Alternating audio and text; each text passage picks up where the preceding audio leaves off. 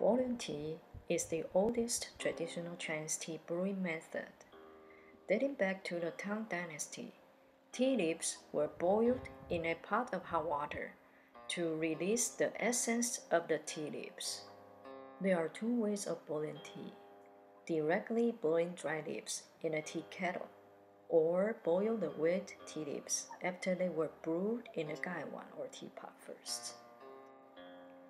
First, we need a pot that can boil on the stove, something like clay pots or energy pots. Then add water. This tank has a capacity of 1500 milliliters. We will put in 1000 milliliters of water and wait until it starts to boil quickly. Today, we are going to boil Fang Gourmet Tea's Special Collection 1979 aged pomelo tea. We need to use scissors to cut out about 20 grams of pomelo tea. Pomelo tea is a well-being tea, unique to the Hakka people in Taiwan. It is usually used as a natural remedy for cold, cough, and upset stomachs. The ancient method of processing this tea is purely handmade and after 40 years of storage, it has been transformed into a rare aged tea. It is the most suitable for this autumn and winter season, when it is the easiest to catch a cold. If you're interested in pomelo tea, check out the description link below.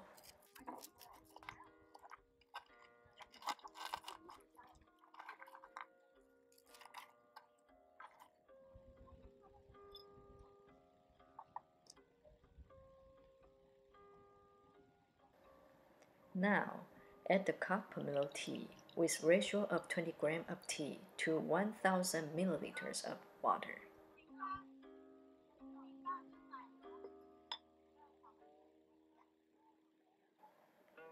Cook for about 15 minutes.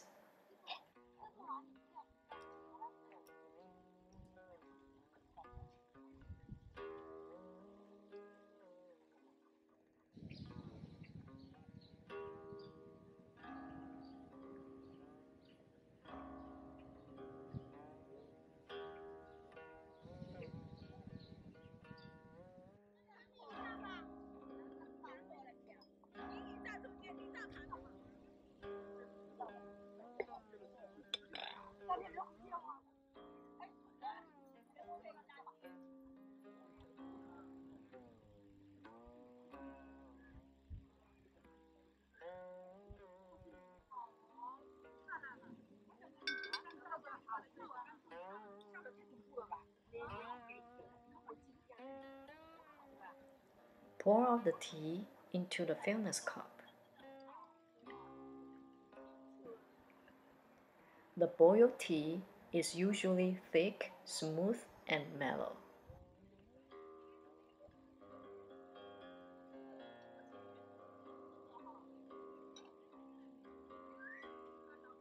Usually, aged teas, cooked pu'er, or Chinese black tea such as liu bao are good for boiling. What tea would you like to boil? Let us know in the comment section below.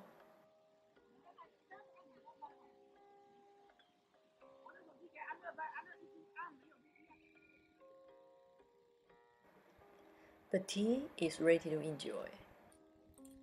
Don't forget to like and subscribe. Thanks for watching.